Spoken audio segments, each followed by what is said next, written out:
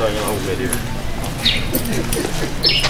Très engagé à booster l'éducation dans sa commune, le maire Dr Amavi Gervais Hunkwekwenu, accompagné de ses adjoints et du secrétaire exécutif de la mairie, s'est rendu tôt ce matin au CG3 de l'Okosa, lieu choisi par le conseil communal pour le lancement des épreuves écrites de l'examen du brevet d'études du premier cycle BEPC, session de juin 2024. Chers candidats, bonjour chers candidats. Bonjour monsieur.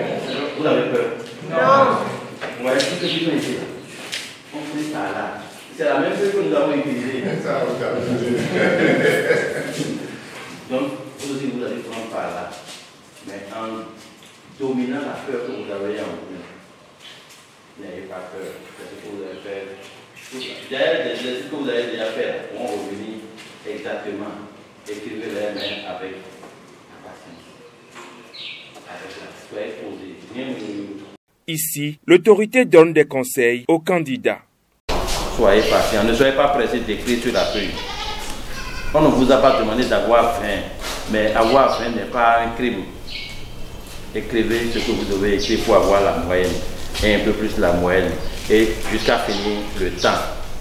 Bonne chance à vous. À la suite de ces conseils prodigués, l'édit de la cité des Konou procède au lancement des épreuves écrites en présence d'autres acteurs du monde éducatif. Nous sommes euh, au centre du CES 3, Locosa, pour le lancement de l'examen BEPC section juin 2024. Nous avons été heureux de voir euh, les enfants bien assis, bien, bien en place. Il n'y a pas eu de cas de maladie que nous avons noté à notre présence. C'est déjà une satisfaction. La surveillance est là, le, centre est fonctionnel. nous venons de lancer l'épreuve de communication écrite.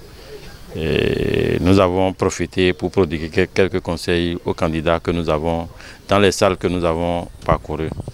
Nous leur avons souhaité bonne chance de la part de la commune, de tout le conseil communal, de la population de l'Ocosa. Et nous leur avons demandé de faire le nécessaire pour que l'Ocosa tire son épingle du jeu.